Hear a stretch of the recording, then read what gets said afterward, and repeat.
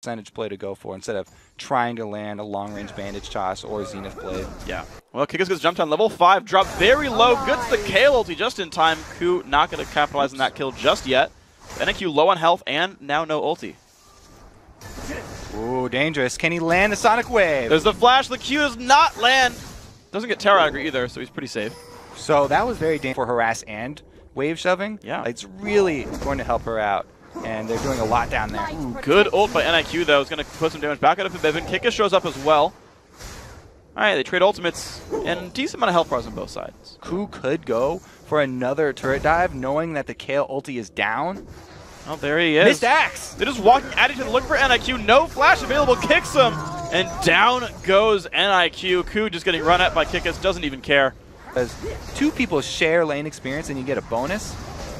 While a single person does get more, you lose out on that bonus. And looks like the Dragon's going to be falling down pretty quickly. Oh! Ulti's coming across. Oh! Kikis does pick it up. Nice smite. Ku couldn't even press the button in time. He will get some China jungling this time around. Nope, doesn't get it at all. Warms it up for Ku. Man, he got it down to half, but Ku wants blood here. He's going to get the red buff slow. There's the axe, lands the Q. Kayle has her ultimate for this one too. That could be really, really painful. Gets the E slow, jumps to his teammate. A lot of damage from Kayle, forcing the flash out of Q. Rocket comes across, not going to land. Gragas Q, there's a jump in, one attack, and Q goes down, picks him up. Gragas ulti was already down. Great chase there by NIQ. And Forbidden can easily set up that gank. Oh, it's looking pretty good for them. Got the ward. We'll see how long it lasts. NIQ takes a bunch Q. of pain, ults himself. Moving a little bit low, likely to not go down. Picks it up with a body slam. Just advantages out of nothing. They're still going for the inhibitor turret, and here's the teleport from Mundo. They've now cornered themselves. This is a tight spot. Okay, Traps land, hit two. Sharna in a bad spot right there. Mundo comes on and Kick is chasing as well. The dive in towards the Lennox. Three-man knockup Q forced away. Oh, the stun onto NIQ. He got it. Oh, he kills him in midair. Goodbye to Lee Sin, trading one for one so far. Voidal trying to solo the mid laner. One more, gets him.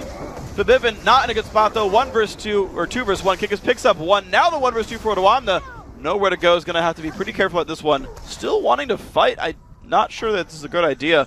This fight's going well for Pulse though, three to two. Forward and is like, I'm gonna get you, and then like swatted out of the air. Like Ku going in away. again though, he misses the combo this time. Uh, slow onto Willet, they're gonna go on forward. Actually, Ascension used, oh no, the slow lands, and goodbye to Jinx. Alendix going away sad and alone in that bottom lane. So you don't get the right angle, and he just barely missed it right there. Um, Welcome back, ladies and gentlemen, to the 2014 European Challenger Series, and it's time for round two in this best of three battle between Pulse Esports and Cloud9 Eclipse.